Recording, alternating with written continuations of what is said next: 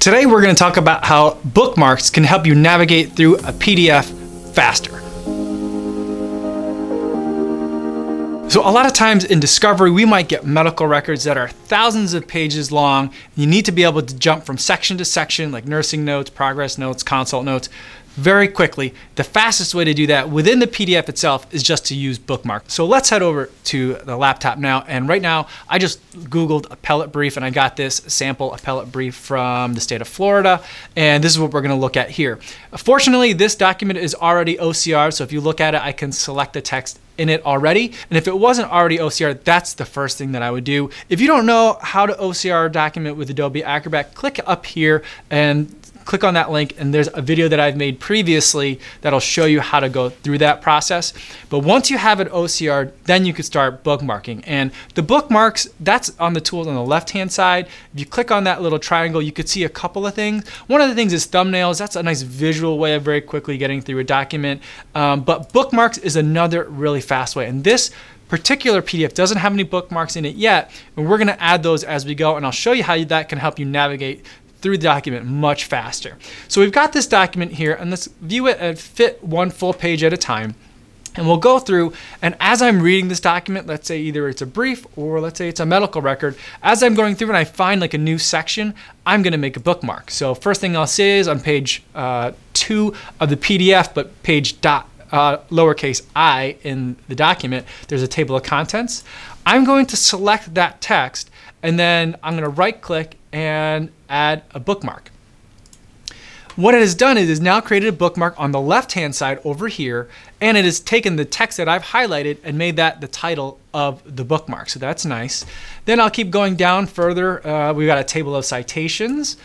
This time, instead of right clicking and adding a bookmark, I can just hit Control B, and that's a lot faster because then I can have one hand on the mouse and then another hand on Control B, and I can just go through really quickly and just fly through and make my bookmarks there.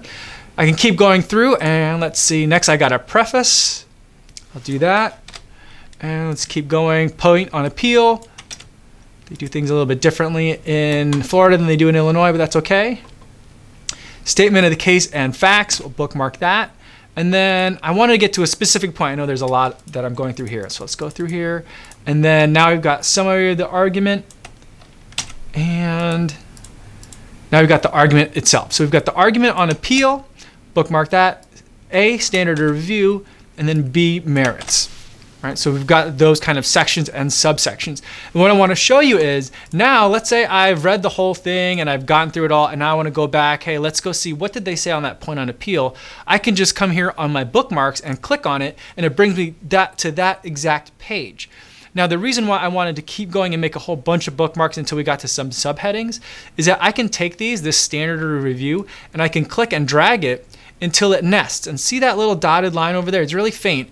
If I just bring it up a level, I can rearrange these into whatever order they want so they don't have to be chronological, uh, and which is frequently going to be the case. Let's say you have a whole bunch of consult notes throughout the course of your medical records, and you want to put everything chronological without rearranging the order of the pages in the PDF. Using bookmarks is a great way to do that. But I can also nest things. So if I have nursing notes as a heading in my medical records PDF and I want to have specific days, I can nest those as well. And so if I move over to the right, or keep moving up a certain level, if you move it just to the right way, then you can see that arrow moves over to the right and I let it go. And now I have this option of hiding or nesting these different items underneath the argument on appeal.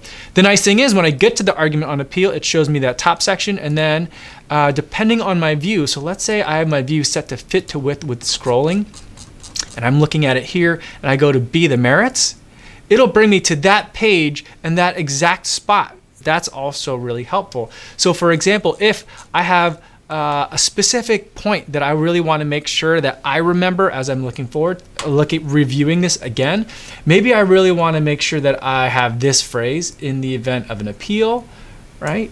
Let's say that's what I need to bookmark, and that has to go as a sub event under the merits.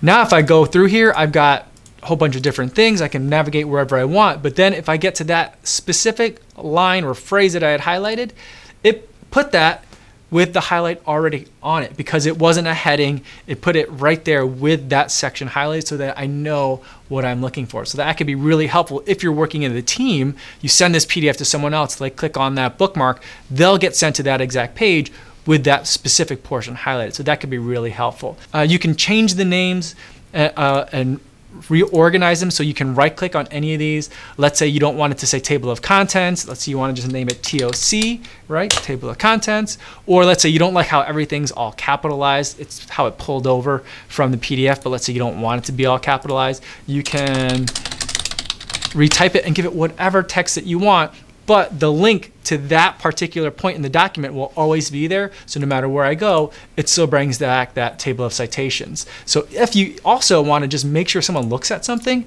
you can rename it so look at this. You can even give them a note or a message in the bookmarks. And when they click on it, let's go to another page, click on that, it highlighted that portion that we originally highlighted, so it remembers that. So it's a pretty smart tool. I wouldn't recommend necessarily putting commentary in your bookmarks, but if that's how you want to use it and that makes sense for you, that's something that you could do. It always remembers what you highlighted when you made the bookmark. So I think that's really helpful. If you have any other questions or tips on the bookmark feature in Adobe Acrobat or in Adobe Acrobat in general, feel free to leave in the comments. I'd love to talk to you guys down there. Thanks so much for watching today's video, and I'll see you in the next one.